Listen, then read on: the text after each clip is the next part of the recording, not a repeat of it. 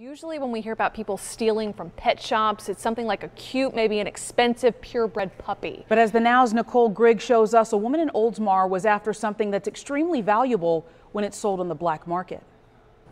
You can tell just from the outside, the Herp Hobby Shop in Pinellas County is all about reptiles.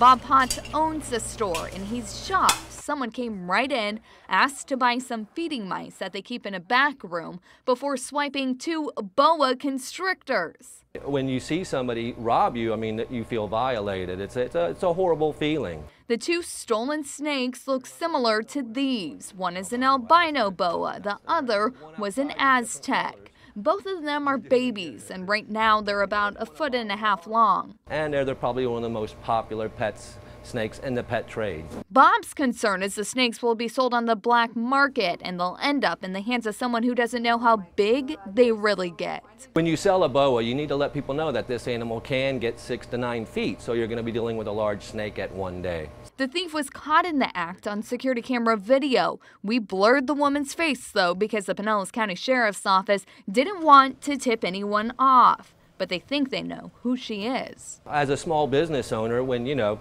things are tough and things are tight, you know, every dollar counts. She walked out with the snakes and two small albino turtles. They think a man was also with her. All the reptiles adding up to almost $2,000, making this a felony grand theft. For the now, I'm Nicole Grigg.